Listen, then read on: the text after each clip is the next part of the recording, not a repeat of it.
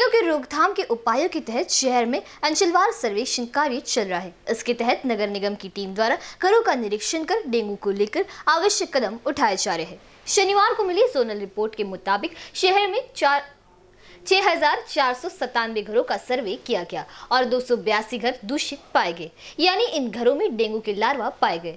सर्वे में बुखार के 90 मरीज़ मिले। 123 लोगों के ब्लड सैंपल और 20 लोगों के ब्लड सैंपल लिए गए। शनिवार को मिली जोनल रिपोर्ट के मुताबिक शहर में छह हज़ार चार सौ सत्तानवे घरों का सर्वे किया गया और दो सौ बयासी घर दूषित पाए गए, यानी इन घरों में डेंगू के लार्वा पाए गए। सर्वे में बुखार के 90 मरीज़ मिले 123 लोगों के पेट सैंपल और 20 लोगों के ब्लड सैंपल लिए गए। सर्वे के दौरान एक हज़ार नौ सौ उनसठ के घरों में लगे कूलरों का निरीक्षण किया गया। 203 कूलरों में मच्छर पाए गए। निगम की टीम ने एक कूलर खाली किए।